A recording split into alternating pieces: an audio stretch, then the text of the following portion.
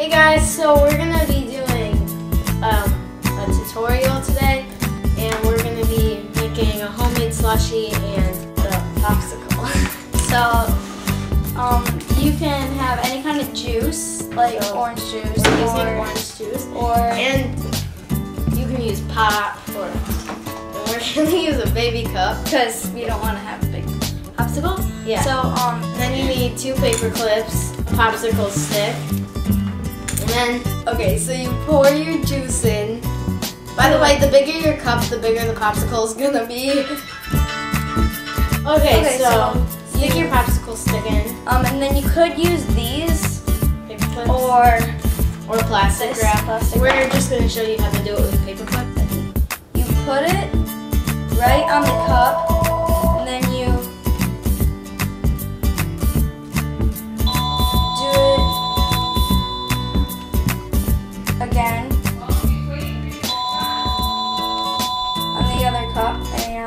side, and it should stay steady. You put it in the freezer, and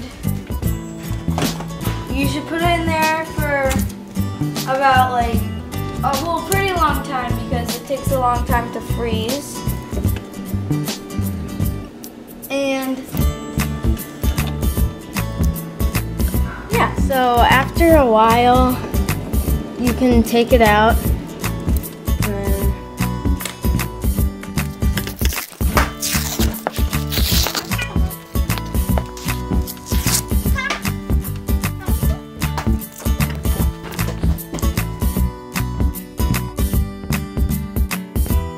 Now we're going to teach you how to make a homemade slushy. So you need some kind of blender to crush up the ice.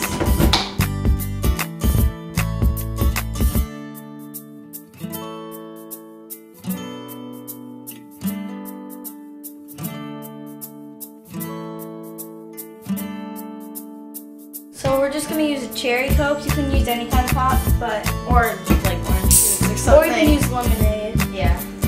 Then you need a cup. So I'm just gonna pour this in. How far? Just keep pouring it.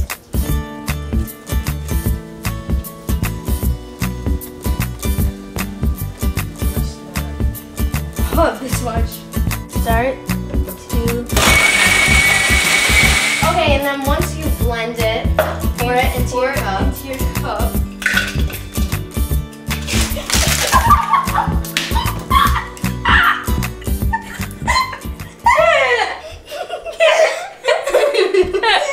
Okay, it's a better idea to scoop it with a spoon than pour it, or else you'll end up like us. Oh, this is disgusting. So it's supposed to look like that. It looks really good for me.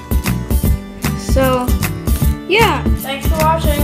And if you need any questions about what we did, then just ask in the comments. And remember to subscribe, like, and comment.